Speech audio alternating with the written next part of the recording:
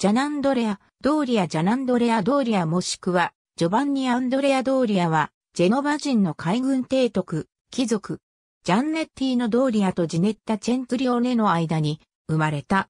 1547年、フィエスキの陰謀により父が死亡、王子、アンドレア・ドーリアの後継者とみなされるようになった。当初結果を残せなかったものの、1560年のジェルバ島の戦いで戦果を挙げ、同年アンドレア・ドーリアが没したことで、後継者としての地位を固めた。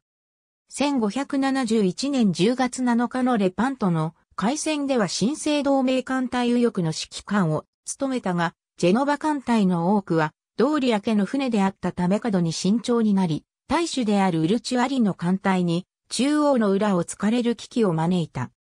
この危機は友軍により出ししたが、ジャナンドレアに大王子ほどの技量がなく、軌道も遅く、戦意に欠けることが明らかになった。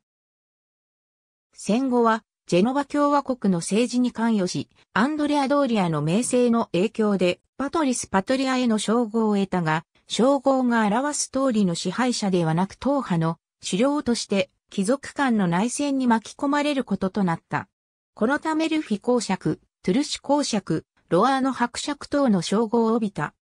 アガスティーノ・オリーブ・ジェリー、モネテ・メデグリー、サジライ・デイ・プリンチッピー・トリア、ジェノバ、COO ティピデル RI デソルドムーティ P30JCL でシーズモンディ A ヒストリーオブザイタリアンリパブリックスワイルドサイドプレス P321 ISBN 9兆7814億3446万646ありがとうございます。